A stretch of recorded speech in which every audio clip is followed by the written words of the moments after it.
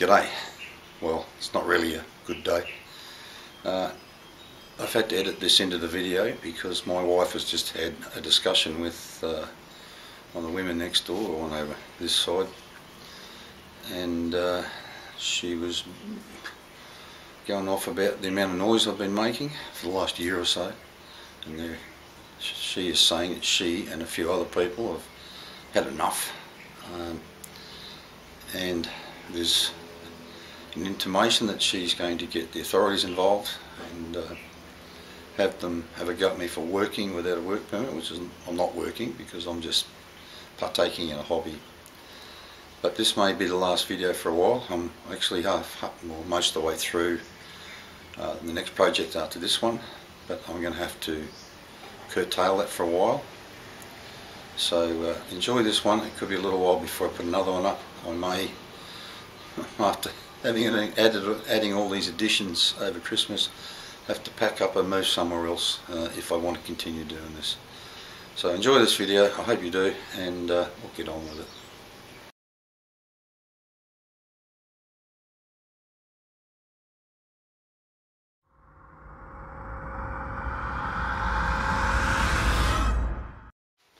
G'day, welcome back. I especially like to welcome my new subscribers and I hope you enjoy the content on my channel.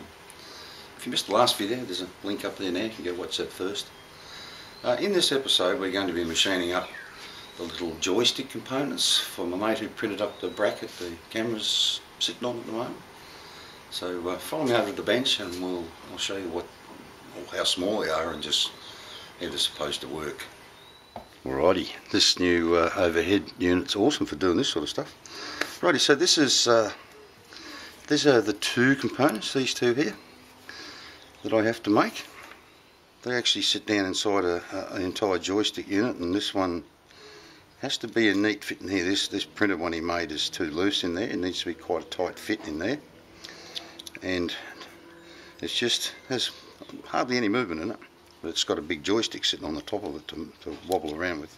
It tells me that these little flats in here have some little tiny electronic bits attached to them and even the slightest movement will register.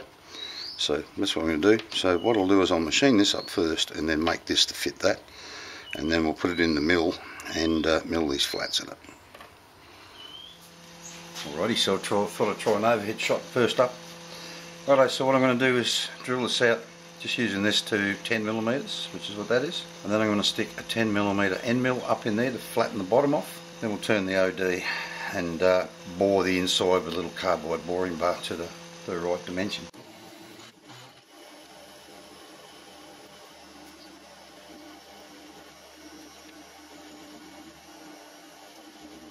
Alrighty, so if you're wondering why I decided to drill it with that, it has a little tiny chamfer in the bottom of the hole, way up in the top there, so I thought, uh, I measured inside the other one, I just uh, it up in there, marked it, so I could tell how deep to go, and then when I when I bore it out, hopefully that the, the chamfer will still be there, because I've got to drill it yet. Alrighty, so I'll uh, change this tool over and we'll get on with it.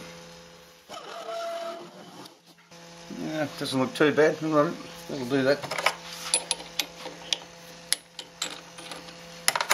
Uh, forgot to tell you, I had to play around with uh, everything to do with this DRO this morning. I wrapped most of the cables in aluminium foil and I pulled the, uh, maybe you can see it in the camera, pulled this apart and cleaned it out. I found one tiny little bit of swarf in there, I don't know whether that's uh, a problem or not. But at the moment, it's behaving itself. So, uh, fingers crossed that's where we're at. It's going to play ball with me now instead of doing what it was doing before.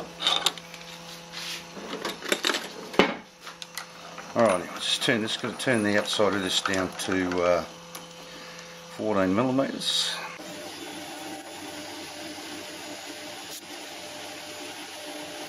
see what we got there.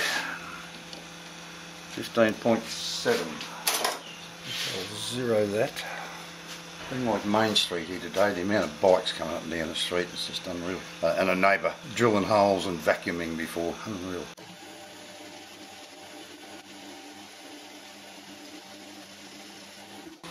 Alrighty, so far so good on the XDRO. Didn't budge not one little, see what we've got here.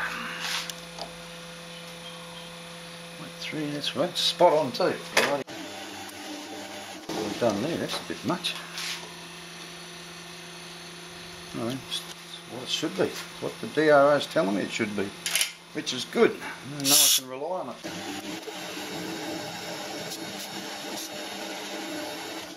I've never turned anything with a DRO before and uh, I'm having a little trouble getting used to this. So half a millimetre's got to come off that.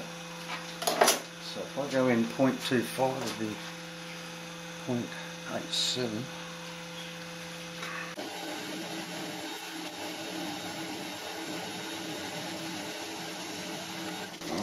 So it should be 14 millimetres. Let's see how we went. Oh, it's a bit under.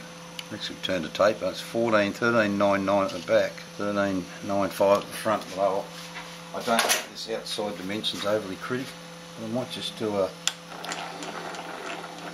pass back there without moving anything and see how we go.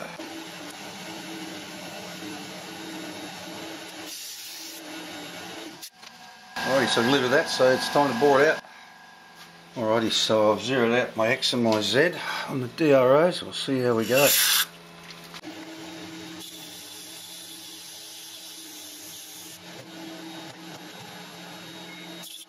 quite go deep enough with that end mill when I went in there because I was just about to stop it at 21.6 and I should have been able to go to 21.9 and hit the bottom. And I'm just I'm running out of uh, out of grind on here too. So anyway we'll uh, keep going see how we go he did give me a little license to uh, to modify this uh, marginally to get what I need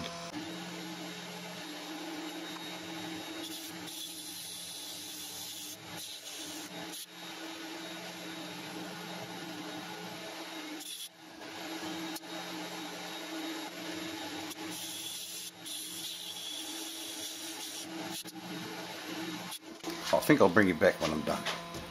Battery's going flat anyway. Alrighty, so while you weren't looking, I drilled a 5mm hole in that and uh, just started the part off there so I can put a little chamfer on it and we'll part this thing off.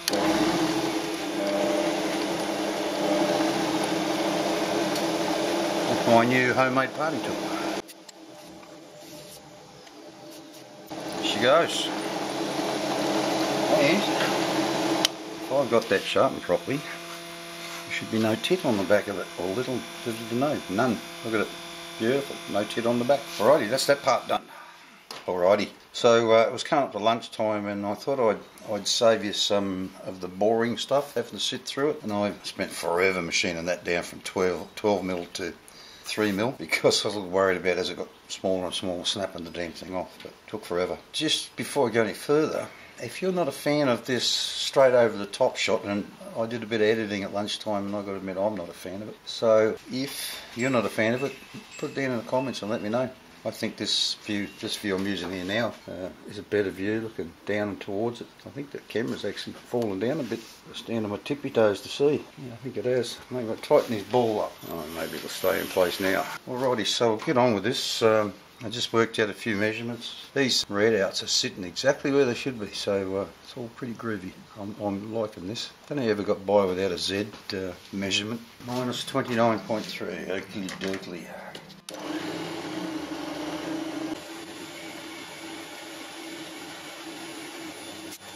Alright, just need to check where I am. Take two millimetres off that.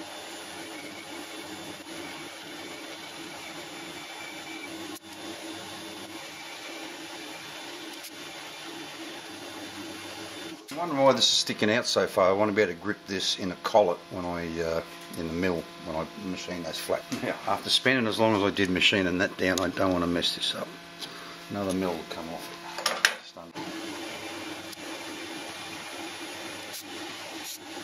That's one thing about these little DROs I've got. They don't uh, don't tell you what size it is. It just tells you how much you've taken off it. So another half a mil.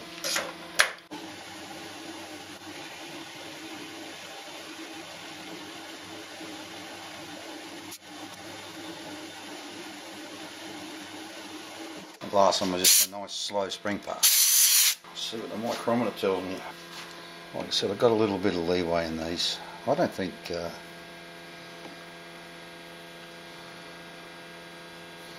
just a tad over, so by the time I polish that on, eh?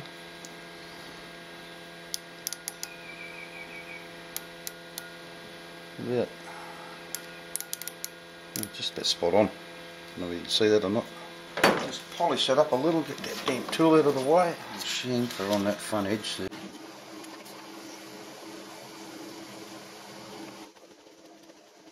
Alrighty, so that that should be the finished turn except to part it off when I'm done. But the main little question is how much of an interference fit is that going to be in there? A bit too tight at the moment. I think it's got to got to be a fairly tight fit in there so that when when this is pushed on after it's been machined it has to, it has to flex. It can't move in the base. So I don't know. I might leave that like that until he's away today. He'll be back tomorrow. Get him down there and, and have a look and see how tight a fit he wants to make it. If you've been enjoying this video, I'd really appreciate it if you'd give it a great big thumbs up and smash it.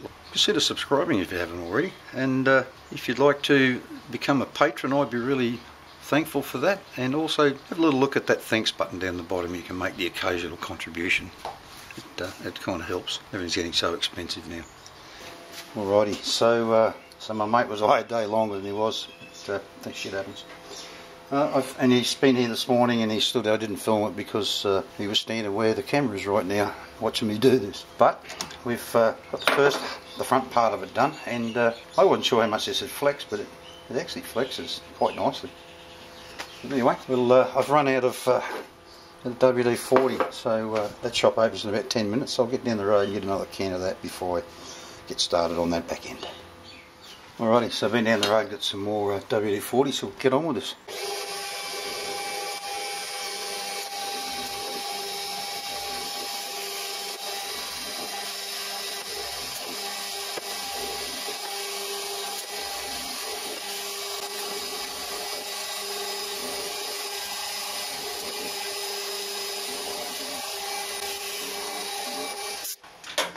Alrighty, so that's that half of it done.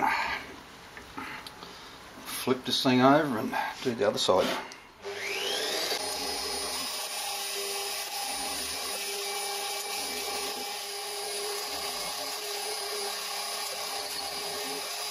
I can stop holding my breath now. These webs here are only a millimetre thick and these ones are only one and a half mil. And uh, Believe you me, there's not a lot there. The, the last few cuts on the first pass was singing quite a bit. That's why I was laying into it so much with the with the lube. Now they're actually eight millimeters wide. I contemplated cutting them with an eight millimeter cutter. Thought no, I don't want a chance grabbing it and tearing the end off it. So I've used a six mil and then uh, cut one pass and then moved over slowly two millimeters and finished it off. But anyway, I'll get that out of there and give you a quick look. A lot of deburring to do. Glad we've got it now to this point, it's just about done.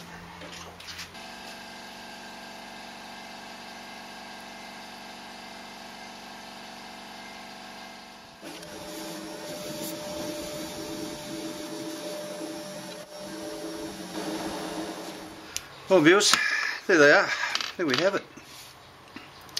I'm really pleased with how that went. Um, that's a pretty delicate part. That um, it's akin to a couple of little valve components I used to make out of brass in the day, so relief, pressure relief valve I used to make for a guy who made uh, diving gear that was run from a compressor that gets pushed up in the end of that.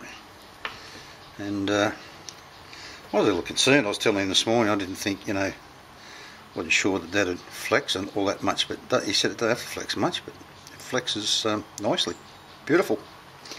Well there it is, done, finished I hope you enjoyed uh, watching me make this and um, you'll come back next week for what's up next.